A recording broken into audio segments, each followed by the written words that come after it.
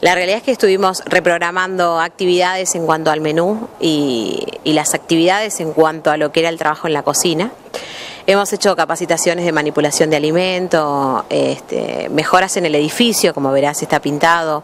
Hemos tenido que comprar mesas, sillas, bancos nuevos, eh, vajilla nueva, porque al inicio de la gestión teníamos entre los tres comedores, el comedor de Balaco, el comedor de Barrio Troche y el comedor de Barrio Retiro, teníamos entre los tres comedores 140, 150 chicos. Hoy por hoy los números se han duplicado. Hay días que entre los tres comedores sumamos este, a 300 chicos. Nosotros funcionamos de lunes a sábado, este, en, cualquiera de los tres comedores y los domingos brindamos asistencia a los merenderos y a los comedores que funcionan en, casas de familias particulares, generalmente y en su mayoría iglesias que nada, tienen un trabajo muy importante en el barrio. Así que brindamos asistencia con algo de mercadería como para que este, esa alimentación esté garantizada.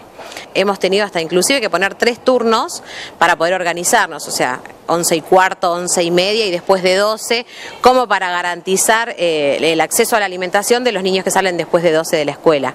Entonces es una situación que nos preocupa, pero que eh, también nos sentimos acompañados porque recibimos el apoyo de, varios, de varias empresas de, la ciudad que acompañan este trabajo porque la realidad es que los números con los que nosotros veníamos trabajando como presupuesto dejaron de coincidir para la demanda que tenemos. Así que eh, los números eh, han sido elevados. ¿sí? Tenemos un menú hoy por hoy de 23 pesos por día, eh, multiplicado por la cantidad de chicos que tenemos, que son 300 al mes, es un montón de dinero para el presupuesto municipal. Entonces, el agradecimiento para con ellos este, por, el, por el acompañamiento y el agradecimiento también para las chicas que forman parte del comedor, ¿no? Bueno, en un principio comenzamos a trabajar con una cuadrilla de 12 menúes, eh, haciendo modificaciones en cuanto a la calidad de la, alimentación que estaban recibiendo cuando iniciamos, eh, siempre teniendo en cuenta cuál es la problemática actual eh, más importante en cuanto a lo que es salud pública, que es el sobrepeso y la obesidad. Entonces tratamos de reducir un poco lo que es el aporte de hidratos de carbono, aumentar las verduras y también las frutas y también la ración de carnes que está presente en todos los menúes de, que consumen los chicos a diario. Eh, después de un año de gestión eh, quisimos ampliar esa cuadrilla a 24 menúes al mes, de manera que los chicos todos los días del mes que asisten al comedor comen un menú diferente para evitar la monotonía, el cansancio que les puede generar comer siempre las mismas preparaciones. Eh, y tuvimos mucha, mucha mejoría, mucha aceptación.